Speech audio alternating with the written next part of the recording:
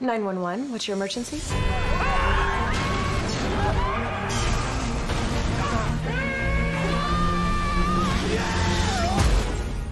Well, how bad is it? It's not good.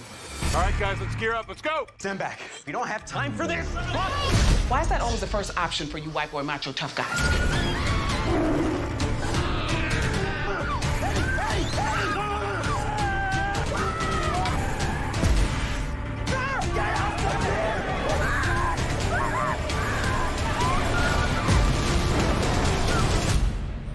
Marry me? Yes! It's gonna hurt a little bit. Jaws! Right?